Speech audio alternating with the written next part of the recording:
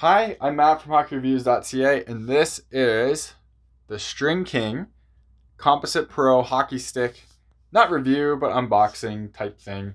Um, so, StringKing reached out to me and asked if I wanted to test this stick out and do some reviews on it, and do some content on it. I said, sure. Um, so, here we are. StringKing, if you don't know, because I didn't know, um, is a company out of California, I believe, and they make lacrosse strings and lacrosse, like the whole setup, um, sticks, I guess they're called.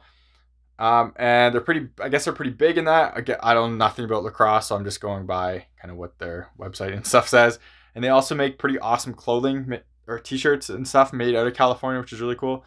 Uh, but now they are going into the hockey market. So we are at the Composite Pro, um, which is this very low key blacked out stick. So some details on it. I haven't used this obviously because of my broken finger. Um, so I won't be able to use this in quite a while. But things I will talk about right now. Balance feels awesome. So this is a, a stick that weighs over 400 grams, but in my hands, it does not feel heavy at all. It feels really nice, well balanced. Um, and I'm I'm a big proponent of that right now. A bunch of companies are kind of racing to the bottom for weight. So Warrior has a Phantom at like 360, and I had a like a the Hopa or I can't remember, I can't say how uh, stick that was under like 370. I'm more about balance, and I find that companies are removing too much from the blade. This feels awesome, um, but it doesn't. It feels heavier than obviously those sub 400 gram sticks, but doesn't feel bad in my hands. I have no problems with it. Um, so I'm really looking forward to trying this. They evidently have a specific special way to do their composite construction according to like their marketing material stuff like that. I you can't see unfortunately any of the weave, which is one thing I really think they should have done is just expose the actual weave on it um, instead of blacking it out. It just gives it a little bit more character and you kind of know what it is. Maybe that's what they're going for, all black, but there are other companies that kind of do that. But with that said, you have a gloss grip all through here, which is very, very grippy.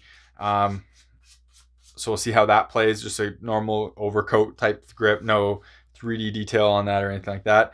The shaft does feel like pretty rounded corners. Um, just that I notice it right now. I usually don't really talk about that because all shaft kind of feel different. Like everyone has their own preference, but this one, just noticing it feels really rounded corners.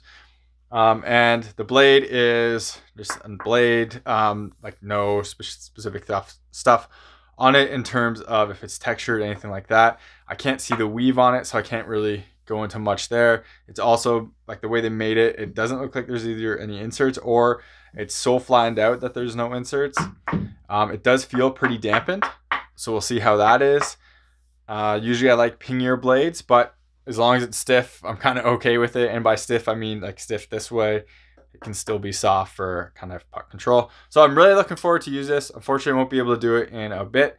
Um, I'll put it on a scale, weigh it, and kind of check out some other things like puck handling because I can still puck handle, stick handle kind of with one hand. So I'll do that in the coming future. But huge thanks to StringKing. Check them out in the link below because um, I'll be doing this review and talking about this stick in the future. Um, so finally, thank you very very much for watching. Uh, if you like, this, like this video, click the like button. Remember to subscribe to me on YouTube, follow me on Twitter, Instagram, links in the description.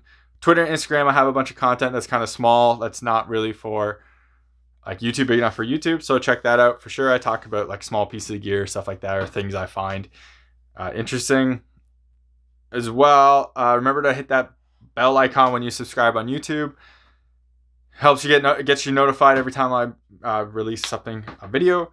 As well subscribe to me just helps me get gear from manufacturers so I can do more videos like this and talk about different types of equipment. So I think that's about it. Thank you very much for watching and check back for more info on this stick coming in the future once my hand heals so in reality in about a month. Um, but a ton of reviews are coming out shortly so check those out too. Thank you very much and take it easy